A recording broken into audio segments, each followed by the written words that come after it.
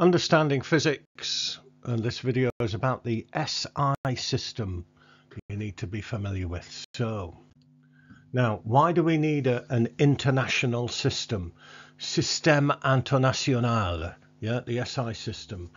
Uh, as far as science goes, so scientists can speak the same mathematical language.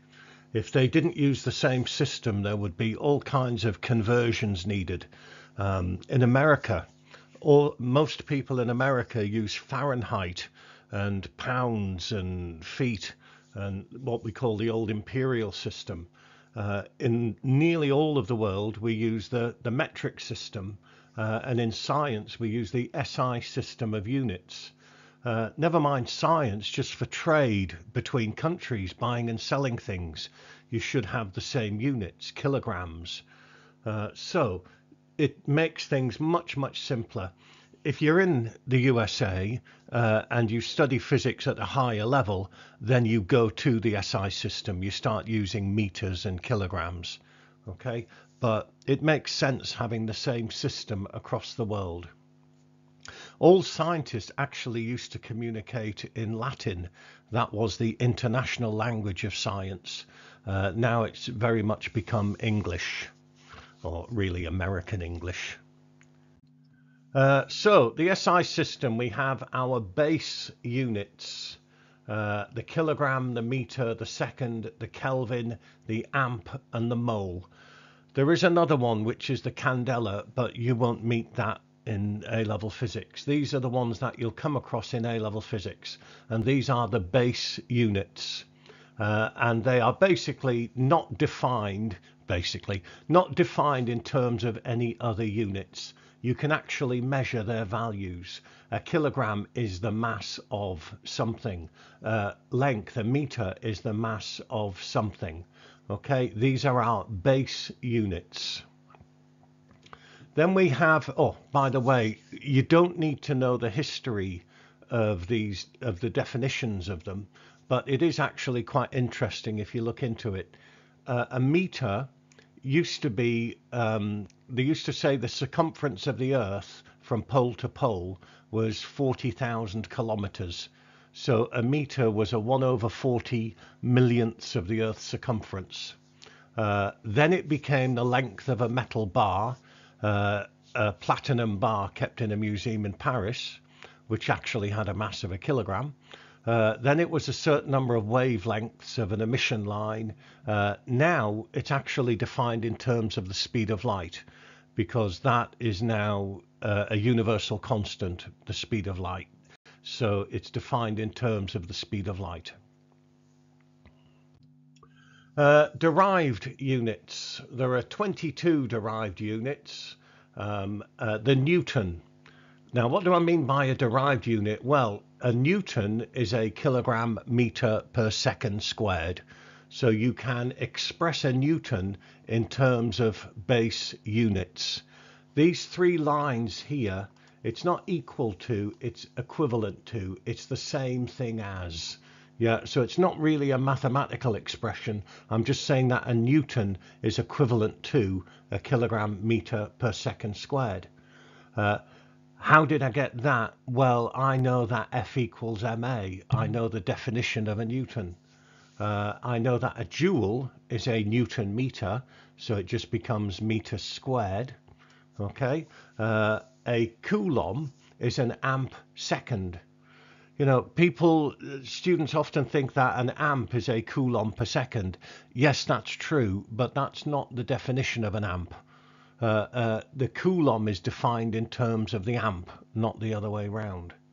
So all of the derived units, like the Newton and the Joule and the Coulomb, can be defined, can be expressed in terms of base units. Uh, interestingly, for any valid equation, for any equation which is actually true, there must be equivalent units on both sides. If you go to university and do physics or engineering you, or further maths, you'll do something called dimensional analysis, which is basically what I'm talking about here. If you've got an equation, you have to have the same uh, or equivalent units on both sides, the same base units on both sides.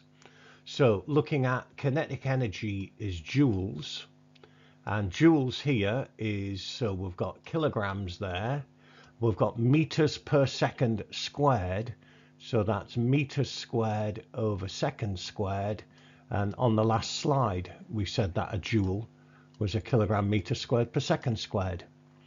Uh, again, just looking at the last one there, GPE, that's joules as well. So that's kilograms.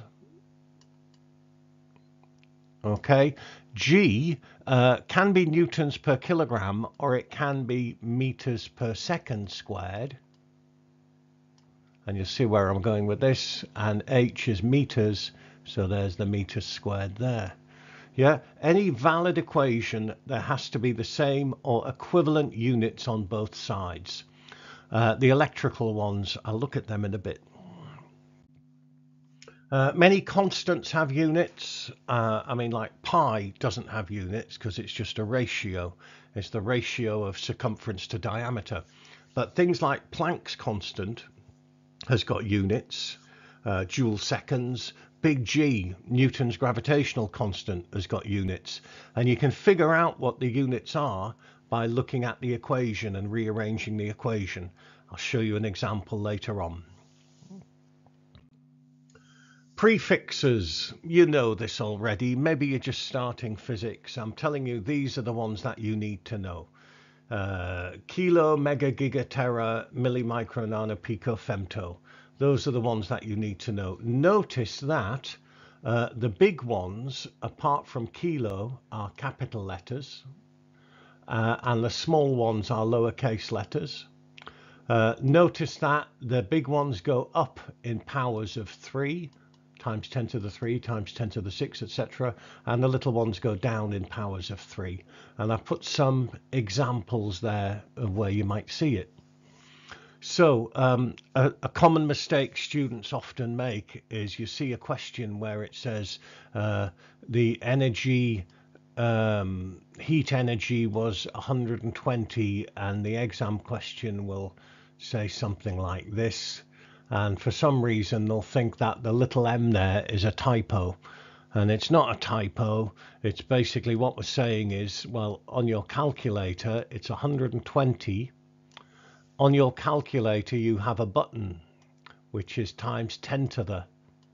Find it. If you don't know where it is find it. Times 10 to the.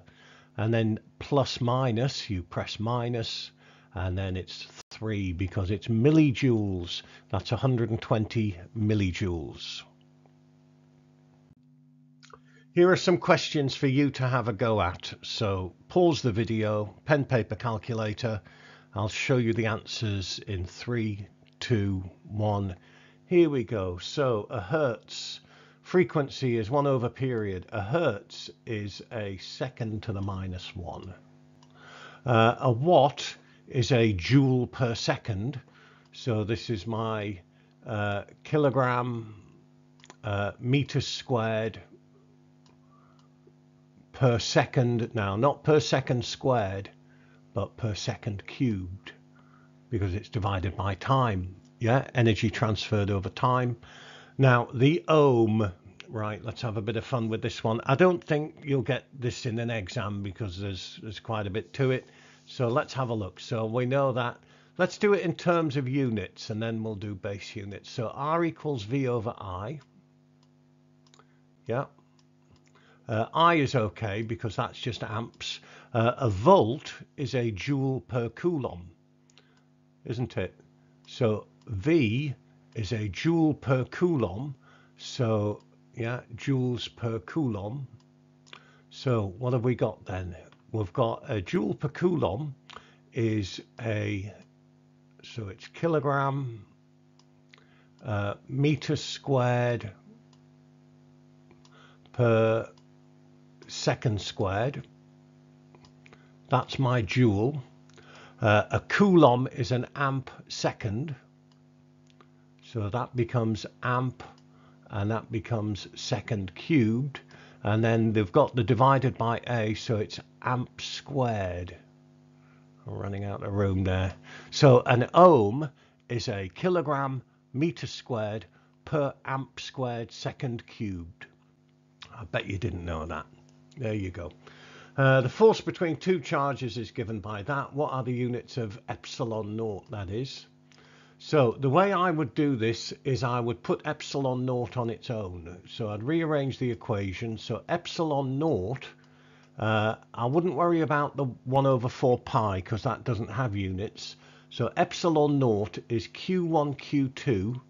So Q1, Q2 is Coulomb squared over Newton meter squared. Yeah, uh, and now let's do the base unit. So a Coulomb is an amp second.